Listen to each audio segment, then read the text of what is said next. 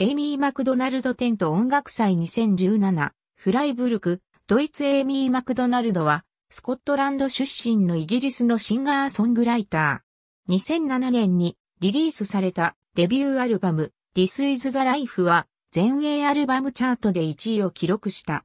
イギリスの北部にあるスコットランドの中心部、グラスゴーから北西に位置するイーストダンバートンシャイアにある小さな町であるビショップビッカーでスコットランド人である両親の間に生まれた。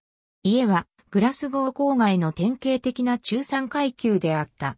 父親は測量士のジミー・マクドナルドと母親は会計士のジョ・マクドナルドである。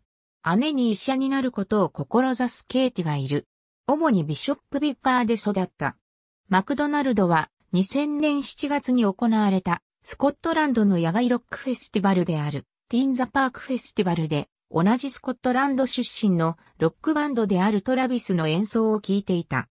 そのトラビスのアルバムザ・マンフーその中でもとりわけターンに多大なる衝撃を受けた。12歳の頃のことであった。それから父親の使い古しのギターで読習した。ほどなくして作詞、作曲を自ら始めた。15歳の時、マクドナルドは地元ビショップビカーにある高校に通っていた。その傍ら、グラスゴー市内にあるスコティッシュパブやカフェなどを演奏のため回った。街のストリートなどでも演奏をする日々を過ごした。とにかく演奏できる場所に行った。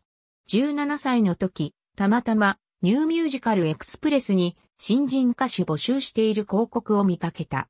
やがて、マクドナルドは、たくさんの曲を詰めたデモ CD をレコード会社に送った。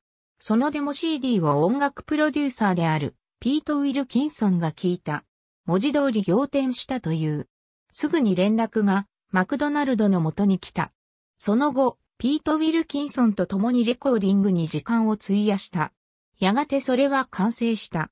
それがデビューアルバム This is the Life であった。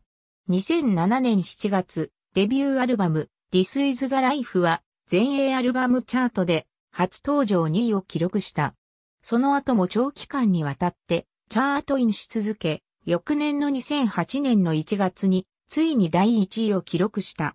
スイス、オランダ、デンマーク、ビルボードヨーロピアンアルバムチャートでは1位を記録。ベルギー、スペインで2位、ドイツ、オーストリアでは3位、スウェーデンでは5位であった。この This is the Life は世界中で26個のプラチナとゴールドを獲得した。2008年、スコティッシュプレミアリーグのフォルカーク FC に所属していた、サッカーのストライカーであるスティーブ・ラベルと結婚。2009年頃から2枚目のアルバム制作に取り掛かった。翌年の2010年に2枚目のアルバム、 A Curious Thing が完成した。2枚目のアルバムである、 A Curious Thing は、全英アルバムチャートで4位を記録した。ドイツ、スイス、オーストリア、ビルボードヨーロピアンアルバムチャートでは1位を記録。オランダ、ベルギー、ギリシャで2位、スウェーデンでは5位、デンマークにおいては7位であった。